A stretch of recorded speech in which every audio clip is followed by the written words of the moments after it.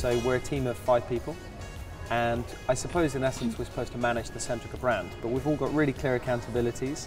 I look after best practice. So Centrica, as you know, has five different markets, primarily the US, the UK, Ireland.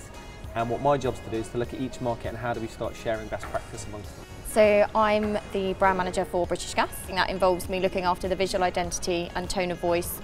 So anything that is branded would come through me or someone in the team to get signed off before it goes out live, which could be anything from 12,000 vans that are on the road with the Wow. third largest fleet in the country. Really? Yeah, it's big.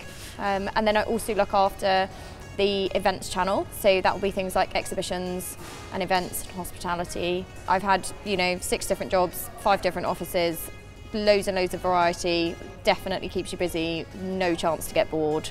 So it's really, really good fun. And the thing that I enjoy the most, without a doubt, is every day you're speaking to someone from a different market. Being part of the Centrica team means that you speak to people in North America, you speak to people in Ireland. Even working through time zones is actually quite cool because you always have to schedule meetings a bit oddly. But yeah, for me, talking about the same kind of challenges, the same customers in different parts of the world, being able to pick up the phone and find out how things are in New York versus Houston, that's what I found the best part about the new role. The thing is, what I love about this place is that there isn't any difference in levels. So, like, you know, on our floor, it's not like we're, we're all marketing managers. It's like you will have people who lead marketing. You will have our marketing director sat on the same floor. Culturally, you're encouraged to go and talk to people. They're definitely not afraid to let you learn here or encourage you to learn. It's a very positive, encouraging culture. Get stuck in, get your sleeves up, go and get what you want. Um, but the path is absolutely there for anyone who wants it. Yeah.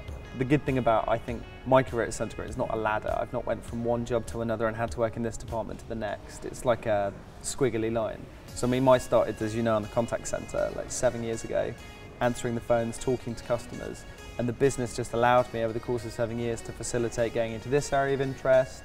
And ever since then, moved around in different jobs.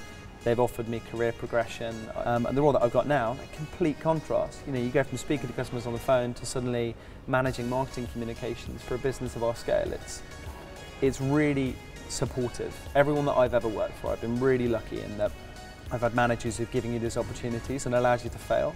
The other really good thing about working here is all of the like extracurricular stuff that you get to do. So um, I went on a 900 mile bike ride. I remember we this. Raised like Milan. £750,000 for Great Ormond Street, Yeah. which was epic. Um, and then last year I went to Africa for two weeks and we whitewater rafted down the Zambezi River for four days and we raised money for a charity called the Microloan Foundation and that was all part of the Centrica Women's Network. And then obviously there's the gym at the bottom of the office in both offices so you get to go to the gym whenever you want to. I find as well the business is really encouraging of like remote working. So it's not like one of those things where your lunch breaks at 12:30 and you've got to be back at 1:30. As long as you crack on with the work, ever since I've been given a laptop and a phone, no one's ever told me to sit at a desk and I can't move until 9 to 5. So if you want to pop out at lunchtime, go for a gym session and come back, I think the fact we have them on the doorstep is awesome. And it's all subsidised as well. It's like a couple of pounds to join the gym. They, I think they really understand as well the need to attract really good talent and Yeah. keep them. So they will always look after everybody who works here because they want them to do a good job. And, you know, at the end of the day, the people that benefit from that are our customers, and that's the important thing.